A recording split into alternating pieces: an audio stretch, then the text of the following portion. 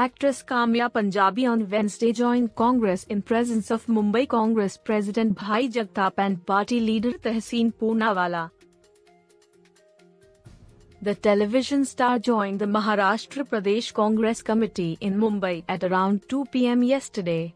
Her indication into the party was confirmed on Mumbai Congress Twitter handle. The actor has always been vocal towards societal issues as she used the social media platform to create awareness about the same.